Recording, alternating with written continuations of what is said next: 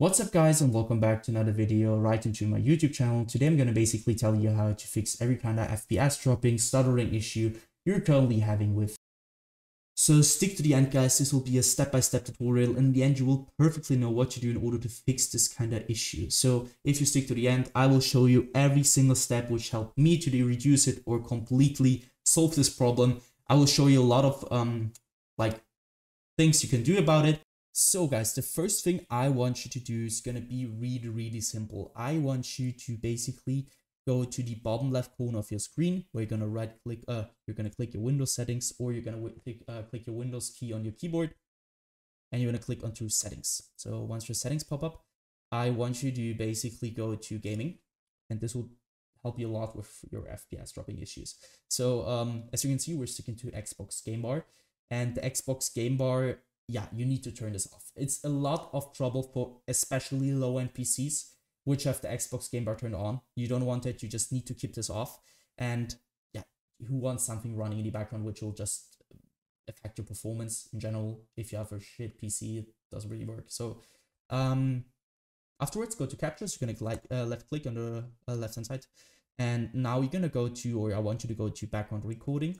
And go to record in the background while I'm playing a game and obviously turn this off guys. If you want to record something, I want you to use something like me OBS or Open Broadcaster Studio, uh, which is made for um, recording games, recording your screen, not Windows. And especially if you have running something in the background which is recording, you don't want that. Why you would want that? So just turn this off. Keep it in mind, it will help you a lot. And also record this just if you have it off, of course. If you want really to record something, just go in 30 minutes, please. And also turn off audio because you don't want to record audio in the background. Um, next thing, go to game mode, left hand side. And now it's really not difficult, but you need to check it for yourself. I want you to uh, tell this because on my PC, it's working better with uh, game mode on. On some PC, it PCs, it won't. So you need to check it for yourself, turn it on, check it, turn it off, check it, which one uh, is working better. You stick with the option. So uh, what I want you to do next is going to be to simply end this task. Uh, next thing is going to be to navigate to the very bottom of your screen, to your taskbar. I mean, it could also be on the right or the left hand side or top. You're going to right click it, uh, click onto Task Manager. This will then pop up your Task Manager. Yeah, as you can see, um, I want you to uh, stick to processes. Once you stick to processes, uh, now you can see CPU and GPU usage. So I want you to click onto GPU first and end every single task running in the background or in the applications um, task, which is having too much GPU usage and you don't need. So especially, I mean, if your game is launching or is um, currently running, you don't want to end it, but uh, something Razer Synapse, I don't know, something which is currently taking too much GPU usage, you're going to simply right click it and click on to end task. So once you're finished with GPU, you're going to do the same things to uh, CPU. So right click on it, do the same thing. Uh, really simple. And um, yes, guys.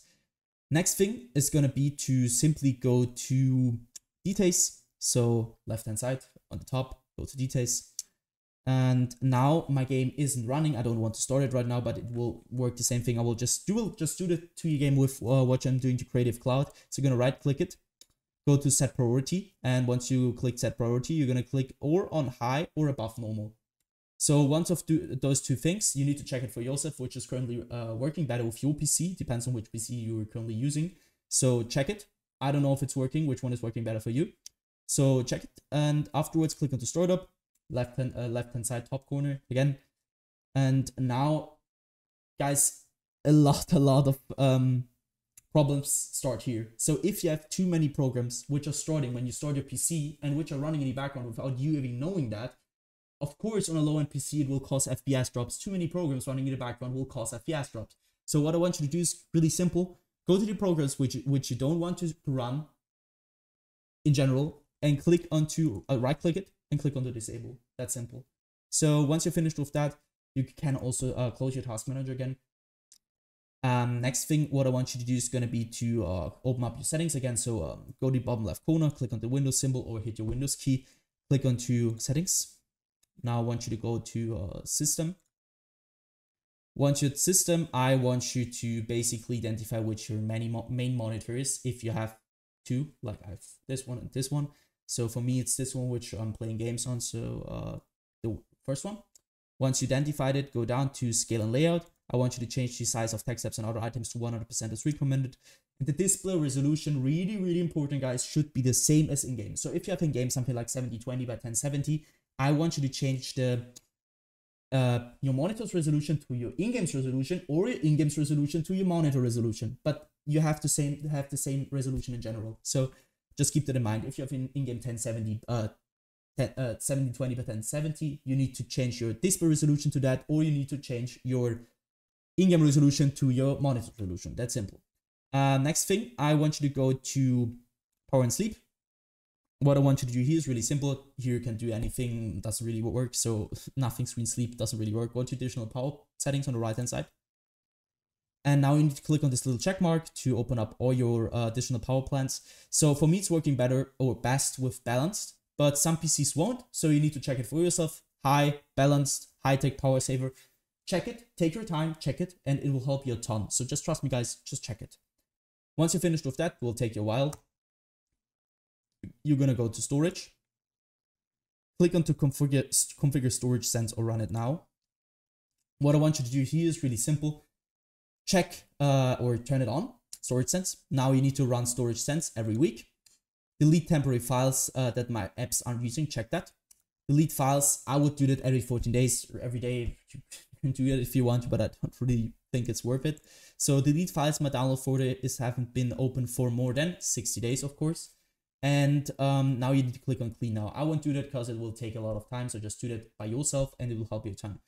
Go back once. Twice, my bad.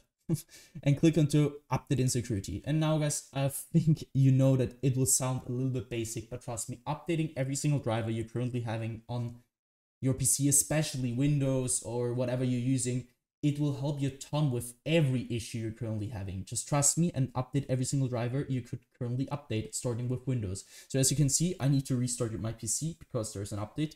I will do that. And uh, once you're finished with that, I uh, simply want you to also do the same thing for your uh, dri drivers. So your graphics card driver, really simple. Just um, go to NVIDIA GeForce. For me, it's NVIDIA GeForce. I don't know what you're using, but uh, I'm using NVIDIA GeForce for that. So um, yeah, you need to go to your NVIDIA GeForce or your graphics card driver and download the latest version because some games need the right uh, drivers version to store it or to uh, run the best. So just keep in mind that you want your drivers updated.